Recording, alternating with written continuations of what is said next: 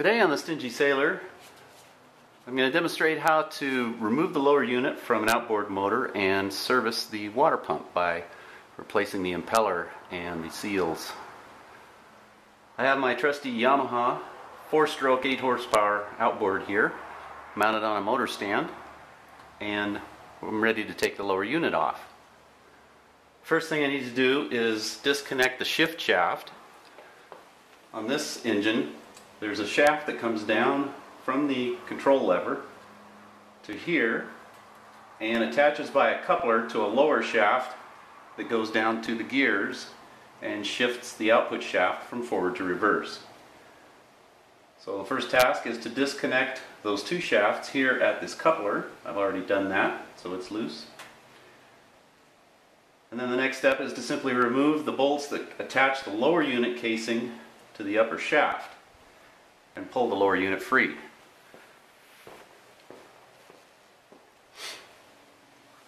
So I've already removed these bolts. It's ready to come out. Just work it a little bit and it should slide right on out. Now we can see the output shaft coming down from the engine, the water pump, and the lower unit casing. I'll take this over to the workbench, put it in a vise, and we'll be right back. So I've taken out the lower unit and I have it in a bench vise here so that I can work on it. And now here's the water pump. The impeller turns on the main power shaft here, pulls water in from the lower unit, up in through the pump, and then drives it up through a tube up through the upper end of the, the shaft to the engine. So now it's a matter of removing these four bolts so that we can take the top off of the pump, pull the impeller off, inspect it and replace it. What I wanted to show you here was, maybe hard to see in the video, but these four bolts are stainless steel. The lower unit casing is made of aluminum. If you've been following the blog, I had a post where I discuss the dangers of dissimilar metals in contact with one another without some sort of a corrosion inhibitor and how easy it is for it to build up galvanic corrosion, which is what happens when two dissimilar metals are together in the presence of an electrolyte, salt water, salt water. So I've been working on these bolts and I finally got one to come out and I wanted to show you Look at all the galvanic corrosion on those threads. These are very difficult to pull out right now and I'm backing them out very slowly, about a sixteenth of a turn at a time, equally, and also soaking them with with uh, some WD-40 to try and get down in the threads to loosen up this corrosion. But it's essentially glued the bolts into the lower casing. And so that's making it very difficult to pull these apart. You have to be very careful to not over torque these bolts they could snap off inside the casing and then we've got a very serious problem. Okay, so my luck didn't work out. I got three of the bolts out and was gradually working this last one back and forth a little bit at a time and sure enough snapped off. So that's a problem for another day. Let's continue. So now that the bolts are removed, they're loose. We can pull the top end of the water pump off. Here's the impeller. There's an O-ring that seals the pump body down onto this plate. And now we can pull the impeller out. And it's actually not in bad shape. It was probably replaced relatively recently. Don't see any flat spots on the impeller blades. Don't see any cracks still pretty flexible. So this whole job probably didn't need to be done, as a matter of fact, but I had no idea what the history of this motor was. So rather than wait for the worst to happen, I decided to service it now. So we have replacements for the impeller, the O-ring, this metal cup inside the pump body that can also get worn as dirt, grit, get in there and uh, scratch it kind of like a cylinder for a piston in a car. And now I'm going to remove this bottom plate. Fortunately, these two front bolts came out fairly easily. That would be just the luck. And now what we can do is remove this lock nut off of find the right wrench there we go lock nut off of the lower shift shaft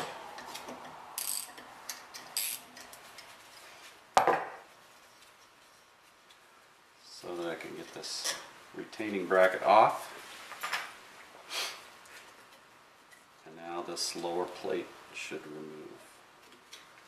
It's got a couple of pins that help index it.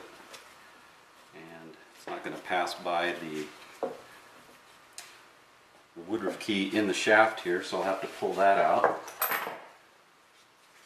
In the water pump service kit there is a replacement key. And of course this one's going to be difficult. So I'm going to work on that a little bit and get that out and then I'll be back. Okay, with a little bit of persuasion, the key came out of the keyway in the shaft there. And now we can remove this bottom plate up off the shaft. Maybe you can see the wear, a little bit of rust, not too bad. Clean that up. But more importantly now we can deal with the snapped bolt here in the lower casing. That's going to be fun because we're going to have to drill it and then either with a left-handed drill bit or with a bolt extractor try and get that out after soaking it with some more solvent to hopefully loosen that up to where it will come out. Worst case scenario, we have to drill it out oversize, tap it, and put in an oversized bolt. Now we can also see the top seal on the lower unit. We can clean up the bottom of the shaft and hopefully get it all back in service before spring. Thanks for watching. Before I clean up the top cover to the lower unit and put the water pump back together, I want to show you an example of what can happen if you don't flush your outboard. Notice this recess in the top of the cover here. This channel that I'm pointing to is where the water comes up from down below right here through these little grates. There's one on each side. There's a channel runs all the way up through the bottom of the lower unit. Water gets pulled up into this cavity. The the lower plate on the water pump covers this and you'll see this in the next segment as I put it all back together but this is where water basically sits inside your lower unit if you leave it in the water and if you do not flush it. You can see all of this corrosion that's gathered here in the top and that's how your water pump wears more, begins to get clogged and it's just generally not a good thing. So I'm going to pull this cover back off, clean all of this out as best I can and then we'll continue with reassembling the water pump.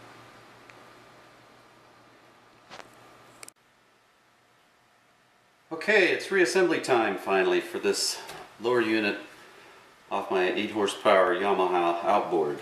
We're putting the water pump back together. I've cleaned up the top plate for the lower unit that I showed you in the last scene see it now. Got all the aluminum oxide off of that, cleaned up nice. So now we're ready to put it back together. I've got this gasket that seals the plate against the lower unit. Slide that down on here.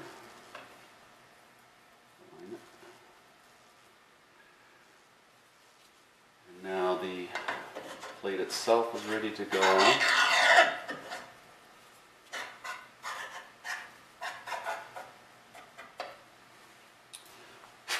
Before I do, I've got this little O-ring that seals the shift shaft.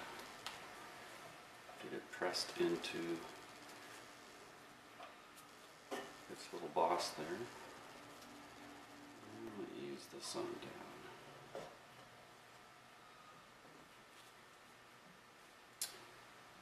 Just.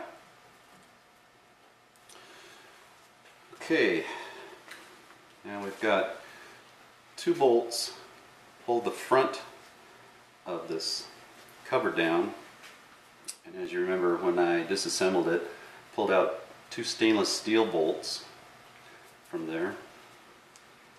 And they came out pretty easily, didn't really have any galvanic corrosion on them, but just as a precaution, this time I'm going to reinstall them with some Marlube.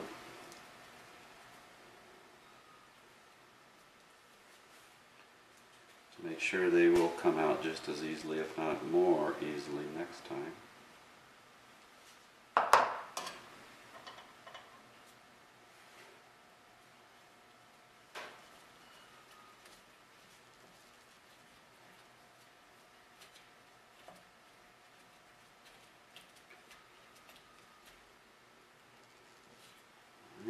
Those are in there finger tight for now.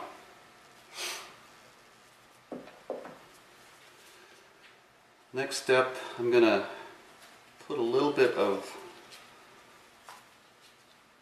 Teflon lubricant here on the top of this lower plate the output shaft runs on the seal because from the cleaning process it's the seal is kind of dry now and I want to make sure that it starts out with a good wet seal.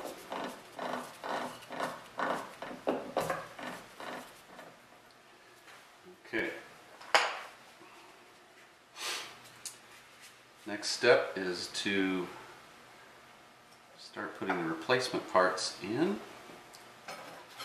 And here's the new bottom plate. Um, if you're watching this video and you haven't seen the blog that accompanies this video yet, I have pictures there of the wear of the bottom plate, the impeller, and the top cover.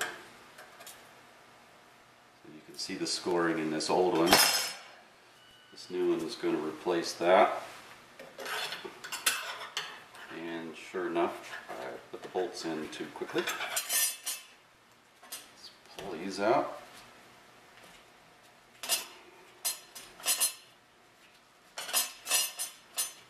And slip that clear plate back on.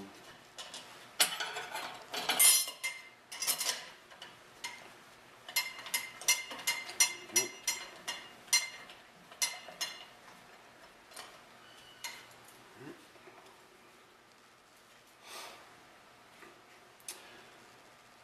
Now,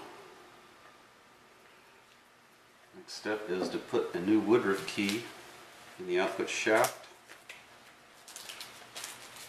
Little tiny key here.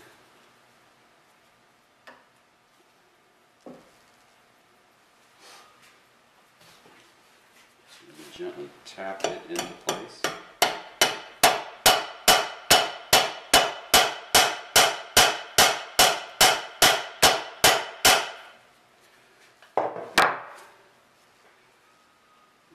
good. We'll check the fit here in a second.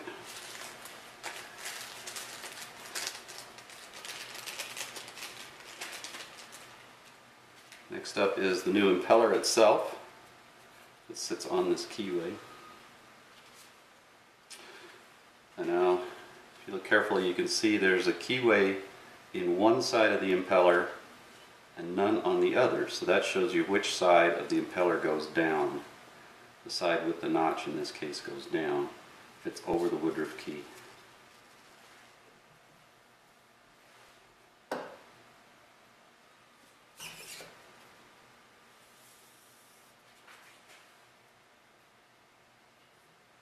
Just like that.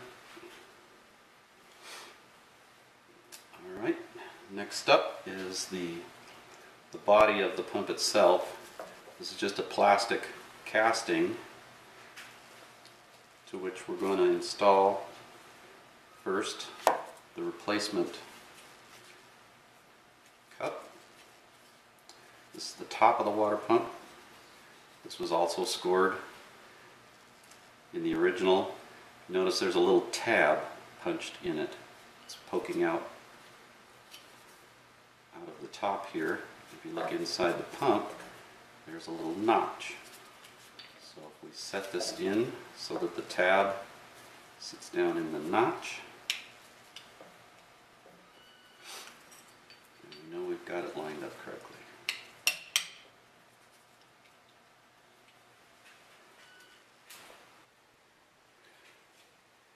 Okay, I got that cap inside of the pump body. And now I'm ready to put the O-ring in that seals it.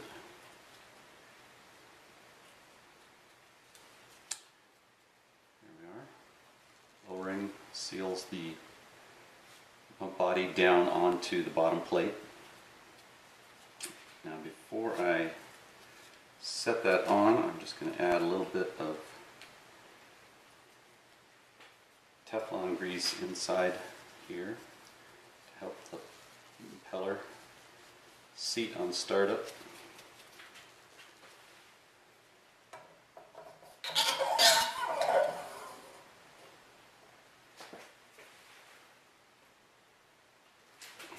And the blades get inside the pump body, I'm just going to press lightly as I press the blades in, press down on the pump body and rotate it help them ride up inside. There we go. Now it's ready to seat on there.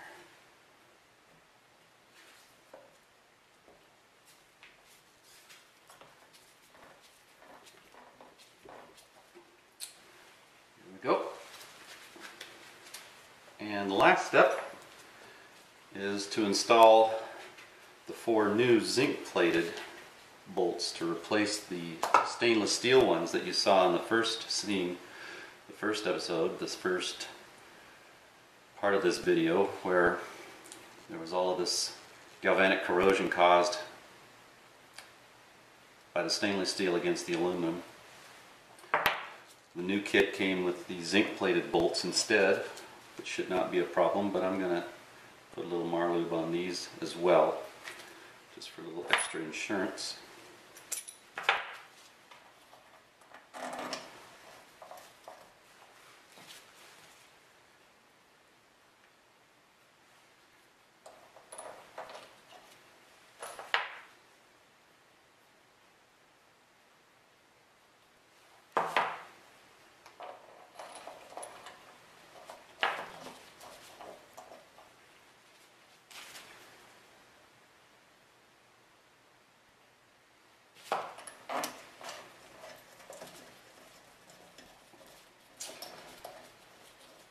And after I tighten these down, the water pump is ready to go. And then all we have to do is reattach the lower unit to the upper shaft of the motor, just like we did when we took it off, except in reverse order. And it's ready to go. Hope you enjoyed this video. I hope you learned how you can service your own water pump and some of the pitfalls that you might run into and how to work out them. Thanks for watching the video, and we'll see you next time on The Stingy Sailor. For more information about this project, or to find more practical, affordable, or just plain cool do-it-yourself projects, visit stingysailor.com, the number one Google website for DIY sailboat restoration improvement without throwing your budget overboard.